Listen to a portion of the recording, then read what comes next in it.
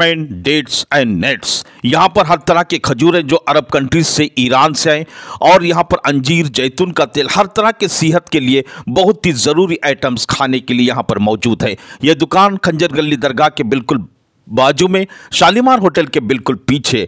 हरमैन dates and net सेहत के लिए यहाँ पर आना न भूलिए। मैं जमील अहमद, ये प्राइम न्यूज़ इंडिया और संचार टाइम क्राइम न्यूज़ है। आइए देखते हैं इस वक्त कौन सी खबर भारत देश में गर्दिश कर रही है।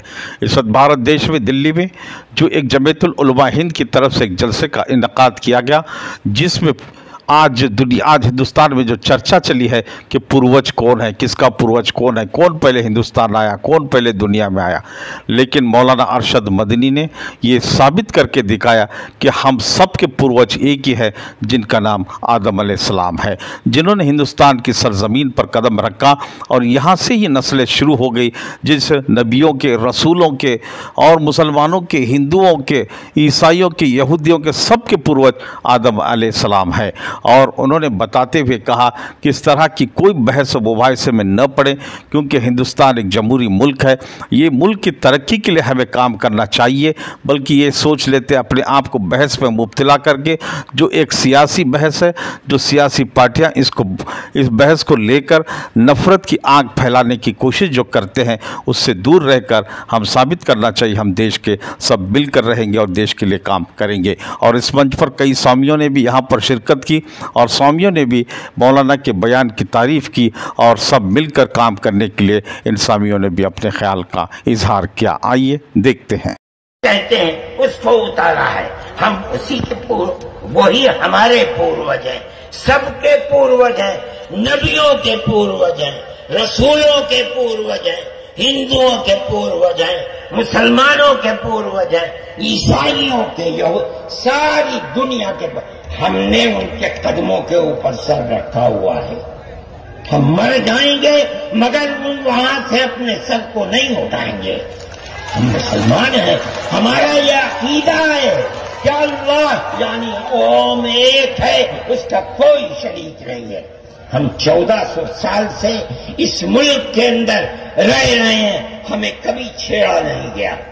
हमारे मज़हब को नहीं, तुमने छेड़ा है तो हम तुम्हें, तुम्हारे आबा वजदाद की तारीख बताते हैं। तुम्हारे आबा वजदाद हिंदू नहीं थे।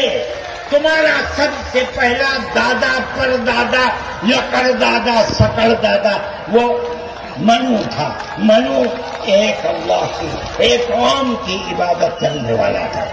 मेरे भाई, मैंने ये बात इसलिए कही है कि तुम अपने इस मुल्क के ऊपर फख्र करो। जिस तरह आखिरी नबी अरब में पैदा किया, हर मुसलमान को समझना चाहिए कि सबसे पहला नबी अल्लाह ने ओम ने इस दुनिया के अंदर, इसी भारत की धरती के अंदर पैदा किया है। सारी नस्लें यहीं से चली हैं। अपने इस मुल्क से मोहब्बत रखो। इस मुल्क का एहतराम करो। शरीयत अलग अलग है, लेकिन दीन यानी अकीदा एक ही है। और वो अकीदा इस दुनिया के अंदर, इसी भारत की धरती से चला है।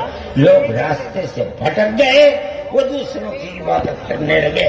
हम नहीं भटके, भटक गए थे। ये ऊपर वाले का कर्म है कि उसने फिर हमें वहीं पहुँचा दिया, जहाँ हमारे जद्द मनु थे, जिसका रास्ता हमें बताया हज़रत मोहम्मद सल्लल्लाहु अलैहि वसल्लम ने।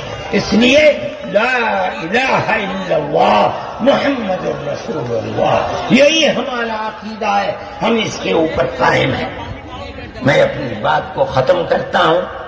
मैं फरका परस्ती का मुखालिफ हूँ और मैं समझता हूँ कि इस मुल्क और इस धरती पर रहने वाला, सही दिमाग रखने वाला फिर परस्ती का मुखालिफ होगा। फिर परस्ती के साथ मुल्क में नाम अमान रह सकता है और न इस मुल्क के अंदर चैन सुकून किसी को मैसर हो सकता है।